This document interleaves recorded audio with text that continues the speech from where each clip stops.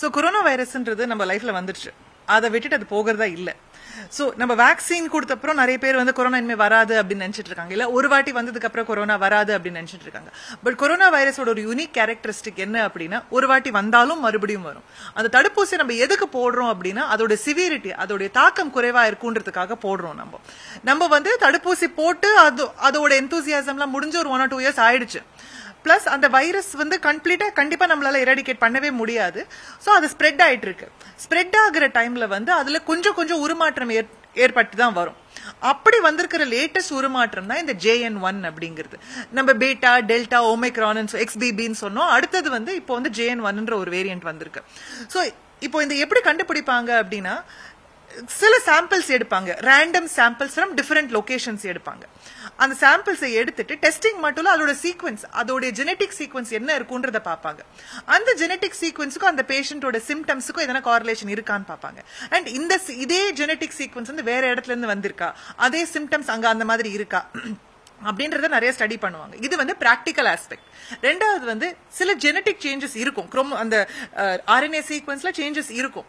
அந்த சேஞ்சஸை வந்து தியரட்டிக்கலாகவும் ஸ்டடி பண்ணுவாங்க. இது இருக்கிற ஆன்டிபாடிஸ்க்கு எஃபெக்டிவா எஸ்கேப் ஆயிட்டு போயிடுமா? ஸோ இது தடுப்பூசி வந்து எஃபெக்டிவாக இருக்குமா இல்லையான்றது. அது தியரிட்டிக்கல் அது எப்படி இருக்கும்ன்றத பொறுத்து இந்த மாதிரி வேரியன்ட்ஸை வந்து கிளாசிஃபை பண்ணுவாங்க. Variant of interest variant of potential danger அந்த மாதிரி கிளாசிஃபை பண்ணுவாங்க. அப்படி வந்திருக்கிற ஒன்று தான் ஜேஎன் ஒன் இப்ப எல்லா சாம்பிள்ஸுமே நம்ம வந்து ஜெனட்டிக் டெஸ்டிங் பண்றது கிடையாது. ஆர்டி சீக்வன்சிங் பண்றது கிடையாது.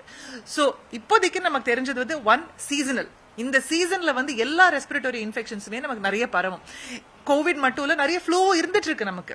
வாட்டர் வெதர் இதனாலே நமக்கு நிறைய பரவுது. ஸோ நம்பர் ஆஃப் கேசஸும் இன்க்ரீஸ் ஆகுது நமக்கு. அண்ட் இப்போதைக்கு ரீசெண்டாக நிறைய சீக்வன்ஸ் பண்ணதுல எல்லாமே ஜேஎன் ஒன்னா தான் இருக்கு. அது கேரளாலேருந்து தான் வந்தது சிங்கப்பூர்லேருந்து தான் வந்ததுலாம் சொல்ல முடியாது. இங்கேருந்து அந்த ஜெனட்டிக் சீக்வன்ஸ் இங்கே கண்டுபிடிச்சிருக்காங்க அவ்வளோதான் அடுத்தது என்ன வரும்? அடுத்தது வருமா வராதான்றதெல்லாம் சொல்லவே முடியாது. இப்போதைக்கு இந்த ஜெனட்டிக் சீக்வன்ஸ் சேஞ்ச் இருக்கிற ஜேஎன் ஒன்னால வந்து நிறைய பரவுது அது. பட் அதனால எவ்வளவு சிவியரா இன்ஃபெக்ஷன் இருக்கு அப்படிங்கிறதுக்குன்னு நம்ம கொஞ்சம் டேட்டா வேண்டி இருக்கு. இப்போ இந்த புதுசா வந்திருக்க இந்த வைரஸ் வந்து பழைய காலங்கள் அதாவது கடந்த இரண்டு ஆண்டுகளுக்கு முன்னாடி வந்துச்சு அந்த வைரஸ் ஒப்பீட்டளவுல இது வீரியமா இருக்குமா இல்ல அதோட கம்மியா இருக்குமா? மக்கள் பயப்படுறாங்க. அதை பத்தி என்னங்க கண்டிப்பா எல்லாருக்குமே ஒரு பயம் இருக்குதாங்க இருக்கும். அதுக்கு தான் அதை க்ளோஸா ஸ்டடி பண்றோம். வேர்ல்டு வைட் ஸ்டடி பண்ணிட்டு இருக்காங்க அதை. ஸோ வீரியம்ன்றது வந்து ரெண்டு விதம் இருக்கு. ஒன்னு சிவியரிட்டி ஆஃப் இன்ஃபெக்ஷன் ஒன்னு ரேட் ஆஃப் ஸ்ப்ரெட் இது எதுல ஜாஸ்தி இருந்தாலும் நமக்கு ஒரு ப்ராப்ளம் தான். இப்போதைக்கு இந்த வேரியண்ட்டுக்கு வந்து ரேட் ஆஃப் ஸ்ப்ரெட் கொஞ்சம் ஹையா தான் இருக்கு. அது வைரஸோடைய ரேட் ஆஃப் ஸ்ப்ரெட்டா இல்ல நம்மளுடைய பிஹேவியர்னால ரேட் ஆஃப் ஸ்ப்ரெட் ஜாஸ்தி இருக்கான்றது வந்து கண்டுபிடிக்கிறது கொஞ்சம் கஷ்டம். ஏன்னா நம்மளோட பிஹேவியரும் அப்படி. ஏன்னா நம்ம வந்து அந்த மாஸ்க் போட்டுட்டு அவாய்ட் பண்ற சுச்சுவேஷன்ல இல்ல அண்ட் லாக்டவுன்ஸும் பண்ண மாட்டாங்க. சோ நம்ம வந்து சிம்டம்ஸ் இருந்தது அப்படின்னா நம்ம வந்து கிரௌட்ஸ் அவாய்ட் பண்றது. இல்ல ஒரு வல்னரபிள் பாப்புலேஷன்ல இருக்கிறவங்க வந்து வெளியே போகாம இருக்கிறதுன்றது ஒரு நல்ல ஒரு செல்ஃப் ஹைஜீனுக்கான ஒரு குட் பிஹேவியர் சொன்னீங்க இல்லைங்களா? தனியாக வந்து நம்ம தான் பாதுகாத்துன்னு சொல்லிட்டு. இப்போ பருவகால காய்ச்சல்கள் ஒன்று இருக்குது. இப்போ வந்து சீசன் ஆரம்பிக்குது. அதனால் வந்து இப்போ பருவகால காய்ச்சல் இருக்குது. இப்போ இந்த கொரோனாவும் வந்துச்சுன்னா எப்படி அதை கண்டுபிடிக்கிறது நம்ம முதல்ல? ஏன்னா பருவகால காய்ச்சலையும் பார்த்தீங்கன்னா அதே சளி இருமல் வரும் உடம்பு சரியில்லாமல் போகும். கொரோனாவிலே அதே மாதிரி வரும். எப்படி நம்ம அதை வந்து ஐடென்டிஃபை பண்ண முடியும்? இப்போ வந்து கொரோனான்னு தெரியும். பல வருஷத்துக்கு முன்னாடி பருவகால காய்ச்சல்னா என்ன வைரஸ்ன்னு தெரியாது. நிறைய வைரஸஸ் இதை காஸ் பண்ணும். ஃப்ளூ வைரஸ் இருக்கலாம் அடினோ வைரஸ் இருக்கலாம் கொரோனா வைரஸ் இருக்கலாம். கொரோனா வைரஸ்ன்றது டூ தௌசண்ட் டுவெண்ட்டில வந்தது கிடையாது. அது பல வருஷமா இருக்கு. பட் கோவிட் நைன்டீன்ன்றது இப்போ வந்து இவ்வளோ பெரிய டேமேஜ் ஏற்பட்டுச்சு. ஸோ இந்த சீசனல்ல வரப்போ வந்து எஸ் சிம்டம்ஸ் எல்லாமே சிமிலரா தான் இருக்கும். ஏன்னா இப்போ ஒருத்தங்களுக்கு வந்து ஸ்டமக் அப்செட்னு வச்சுக்கோங்களேன். எதனால இருந்தாலும் வயிறுல காமிக்கிற சிம்டம்ஸ் அதே தான் அதே மாதிரி ஒரு ரெஸ்பிரேட்டரி இன்ஃபெக்ஷன்னா எதுவா இருந்தாலும் சிம்டம்ஸ் அதே தான் இருக்கும். ஐயோ இது ஒரு கொரோனாவா இருக்குமோ அப்படின்றது நினைக்கிறதுக்கு சிம்பிள் ஆர்டிபிசிஆர் எடுத்து பாத்துருங்க. அப்படி இல்ல ரொம்ப சிவியரா இல்ல அப்படின்னா வீட்லயே இருந்துட்டு உங்க டாக்டர் என்ன சொல்றாங்களோ அதை மட்டும் ஃபாலோ பண்ணுங்க. டாக்டர் சொல்லாம எந்த மெடிசன் எடுக்காதீங்க. டாக்டர் சொல்லாம கண்டிப்பா ஆன்டிபயோட்டிக்ஸ் எடுக்காதீங்க. மேம் அதே மாதிரி இப்போ இரண்டு முறை வந்து தடுப்பூசி கொரோனா தடுப்பூசி போட்டவங்களா இருக்காங்க. அவங்களாம் வந்து இந்த புதிய இந்த கொரோனா வைரஸுக்கு பயந்தாக வேண்டிய கட்டாயம் இருக்கு. ஏன்னா அவங்களையும் தொற்றுமா இந்த மாதிரி? சரி நான் ஏற்கனவே சொன்ன மாதிரி இந்த கொரோனா வைரஸ் தடுப்பூசி வந்து not to stop the infection வந்தா அதோட சிவியரிட்டி கம்மியா இருக்கும். ஒரு சிம்பிள் எக்ஸாம்பிள்ங்க இப்போ நம்ம வந்து அந்த தடுப்பூசி வந்து ஒரு எக்ஸாமுக்கு ரிவிஷன் வச்சுக்கோங்களேன். நம்ம பாடி ப்ரிப்பேர்டா இருக்கு. இப்போ ஒரு இன்ஃபெக்ஷன் வந்துட்டு எதிர்ப்பு சக்தி உண்டாக்குறதுக்கு 14 டேஸ் ஆகும். அதுக்குள்ள நம்ம பாடியில நிறைய டேமேஜ் ஏற்படுறதுக்கான வாய்ப்பு இருக்கு. பட் தடுப்பூசி கொடுத்து வச்சுட்டோம். ஸோ பாடி வந்து ஆன்டிபாடிஸோட ரெடியா இருக்கு. நம்மளுடைய சுத்தி இருக்கிற இம்யூன் சிஸ்டம் பார்த்துட்டு இருக்கிறப்போ கொரோனா வைரஸ் பார்த்துடுச்சு அப்படின்னா அதோட இம்யூன் சிஸ்டம் வந்து டக்குன்னு ரெஸ்பாண்ட் பண்ணி ஆன்டிபயோட்டிக்ஸ் ஆன்டிபாடிஸ் வந்து சீக்கிரமா அதை வந்து கேப்சர் பண்ணி கண்ட்ரோல் பண்ணிடும். ஸோ டெஃபினட்டா தடுப்பூசி போட்டவங்களுக்கு வந்து சிவியரிட்டி ஆஃப் சிம்டம்ஸ் குறைச்சலா தான் இருக்க சான்ஸ் இருக்கு. அதே மாதிரி பாத்தீங்கன்னா அந்த இந்த வைரஸ் கிட்ட இருந்து தப்பிக்கிறதுக்கான வழிமுறைகள் அதாவது அது வந்து தான் தீரணும் ஒரு இது இருக்குது. அது இருந்தாலுமே நம்ம எடுக்கக்கூடிய முன்னெச்சரிக்கை நடவடிக்கைகள் என்னென்ன நம்ம எடுக்கலாம் இது வந்து ஒரு புதுசா நான் ஒரு சீக்ரெட் எதுவும் சொல்லிட போகிறது கிடையாது. உங்களுக்கு உங்களுடைய ஹெல்த்தை பொறுத்த வரைக்கும் நீங்க சேஃபா இருந்துக்கோங்க. உங்களுக்கு இம்யூன் சிஸ்டம் கம்மியா குறைச்சலா இருக்கு வீக்கா இருக்கு அப்படின்ற பட்சத்துல அதாவது could be seniors could be people on immunosuppressants pregnant women children அந்த மாதிரி இருக்குன்னா கிரௌட்ஸ் அவாய்ட் பண்ணுங்க. பட் இது ஹாலிடே சீசன் இப்பதான் எல்லாரும் எல்லாரையும் பார்க்க போவாங்க. அப்படி இருக்கிற பட்சத்துல போய் பார்த்துதான் ஆகணும்னு ஒரு சிம்பிள் மாஸ்க் போட்டுக்கோங்க. But nose and mouth cover பண்ற மாதிரி மாஸ்க் போட்டுக்கோங்க. ஏன்னா நிறைய பேர் இங்கே மட்டும் போட்டு போறாங்க. சோ அதுதான் நீங்க எடுக்கக்கூடிய சிம்பிளஸ்ட் விஷயம். அப்படி வந்து யாருக்கான ஃபீவர் இருக்கு வேண்டாம் அப்படின்னா ஒரு கிரௌட் அவாய்ட் பண்றதுக்காக பொலைட்டா முடியாதுன்னு சொல்லுங்க. தப்பு இல்ல. தப்பா எடுத்துக்கிறவங்க தப்பா எடுத்துப்பாங்க. தப்பா எடுத்துக்காதவங்க புரிஞ்சுப்பாங்க. உங்க ஹெல்த்தை நீங்க தான் பாத்துக்கணும். இப்போ நீங்கள் ஏற்கனவே சொன்னீங்க இந்த கொரோனா வைரஸ்ங்கிறது இன்னைக்கு நேற்றுக்கு வந்ததில்ல இது பல வருஷமா இருக்குன்னு சொன்னீங்க. அதே மாதிரி பார்த்தீங்கன்னா ஃபியூச்சர்லேயும் இது நிறையா இருக்கும். நம்ம அது கூட தான் வாழ வேண்டிய ஒரு கட்டாயத்தில் இருக்கு இருக்கும். அதிலிருந்து நம்ம எப்படிலாம் தற்காத்துக்கலாம்? இது என்ன மாதிரியான நிலைக்கு கொண்டு போகணும்? சோ இது வந்து நம்ம ஒரு நீங்க கேக்குறது வந்து ஒரு ideal world disease free world கேக்குறீங்க. அப்படி இருக்கிறதுக்கான ஒரு சான்ஸே கிடையாது.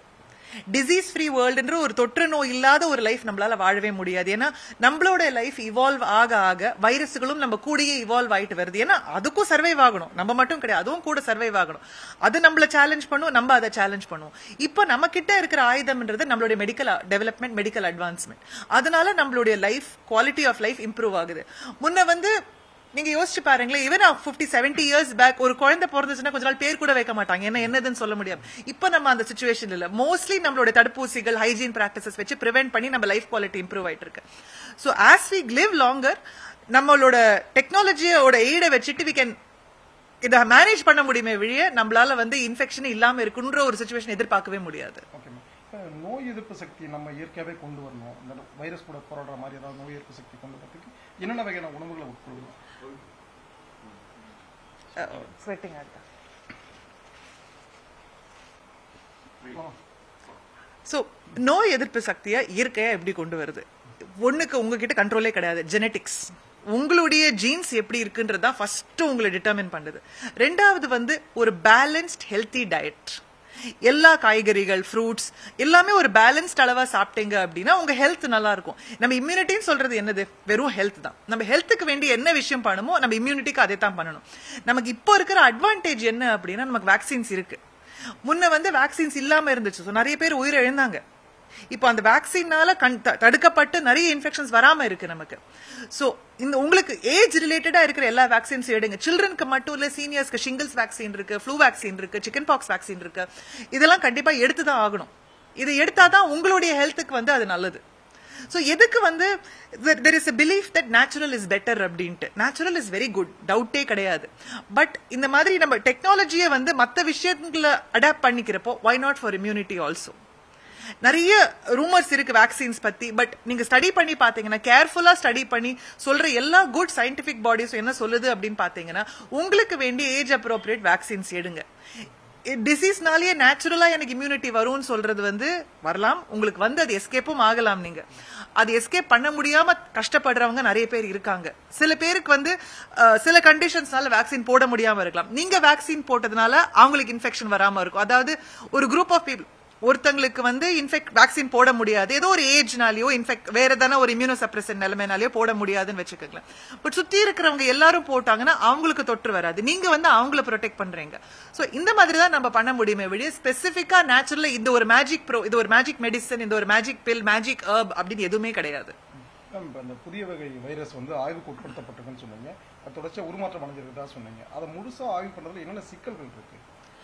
இப்போ வந்து நம்ம எல்லா இன்ஃபர்மேஷனும் கண்டுபிடிச்சிடலாம் அதோட ஜெனட்டிக் சீக்வன்ஸ் அதோட ப்ரோட்டீன் ஸ்ட்ரக்சர் எல்லாமே கண்டுபிடிச்சிடலாம் பட் அது எப்படி பிஹேவ் பண்ணுன்றது நம்மளால ப்ரெடிக்ட் பண்ண முடியாது ப்ரெடிக்ட் பண்ண முடிஞ்சா நம்ம எங்கேயோ இருந்திருப்போம் it is not a scientific fall back அந்த மாதிரிலாம் கிடையாது it is simply how it behaves அது எந்த அளவுக்கு கிளவரா இருக்குன்றது வந்து நம்மளால ப்ரெடிக்ட் பண்ண முடியாது ட்ரை பண்ணலாம் பட் நம்மளால ப்ரெடிக்ட் பண்ண முடியாது அது எப்படி அது பிஹேவியர் எப்படி இருக்குன்றது பார்த்து தான் நம்ம டேக்கிள் பண்ணணும் தண்ணீர் இஸ் இம்பார்ட்டன்ட் ஃபார் லைஃப் அந்த வாட்டர்ல வந்து என்ன பாக்டீரியா என்ன வைரஸ் என்ன ஃபங்கை இருக்கும் என்ன பாரசைட்ஸ் இருக்கும் நமக்கு தெரியாது. இந்த ரெய்னி சீசன்ல வாட்டர் கண்டாமினேட் ஆகிறதுக்கான சான்ஸ் இருக்கு. ஸோ வாட்டரை நல்லா பாயில் பண்ணி நல்லா ஒரு கொதி வர வர வரைக்கும் பாயில் பண்ணி கூல் பண்ணிட்டு ட்ரிங்க் பண்ணுங்க. உங்களுக்கு ஸ்டமக் ப்ராப்ளம்ஸ் எதுவும் வராது. பியூரிஃபையரோட ஃபில்டரை நீங்க கரெக்டா மெயின்டைன் பண்ணிட்டு வந்துட்டு இருந்தீங்கன்னா கொதிக்க வைக்க வேண்டிய அவசியம் கிடையாது. நீங்க ஃபில்டரை மெயின்டைன் பண்ணல டவுட் இருக்கு அப்படின்னா பாயில் பண்ணி குடிச்சிருங்க.